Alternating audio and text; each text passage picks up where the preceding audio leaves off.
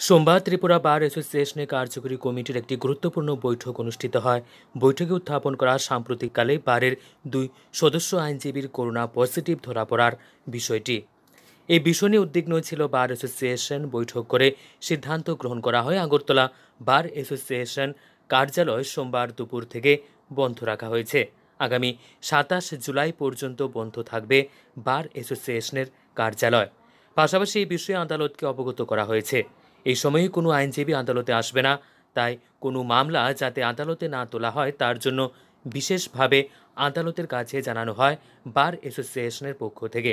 এদিন থেকে আদালতে সমস্ত আইনজীবীদের উপস্থিতি বন্ধ হয়ে গেছে। আগামী সাতাশ জুলাই পর্যন্ত বার অ্যাসোসিয়েশন বন্ধ রাখার বিষয়ে জানান ত্রিপুরা বার অ্যাসোসিয়েশনের সভাপতি আইনজীবী মৃণাল কান্তি বিশ্বাস।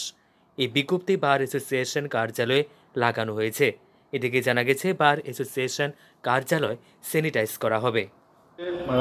আমাদের বারে ত্রিপুরা বার অ্যাসোসিয়েশনের এক্সিকিউটিভ কমিটি একটা জরুরি মিটিং বসে।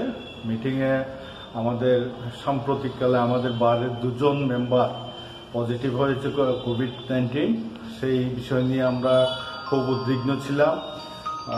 আমরা মিটিং করে সিদ্ধান্ত নিয়েছি যে আমাদের ত্রিপুরা বার অ্যাসোসিয়েশন আজকে দুপুর বারোটা থেকেই ক্লোজ করে দিয়েছি।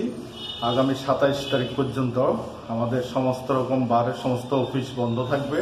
পাশাপাশি আমরা সমস্ত কোর্টকে জানিয়েছি, এই বন্ধের আওতায় যখন আমরা বন্ধ কোনো লয়ার আসবে না, তাদের কোনো মামলা যাতে অ্যাডভার্স অর্ডার না হয় বা কোনো সাধারণ লিটিগেন্টের মামলা যাতে নষ্ট না হয়, এ ব্যাপারে কোর্টের দৃষ্টি আকর্ষণ করে আমরা আবেদন করেছি।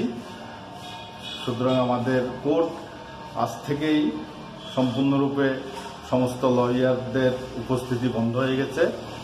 আগামী সাতাশ তারিখ পর্যন্ত। Bureau report Tripura twenty four into seven.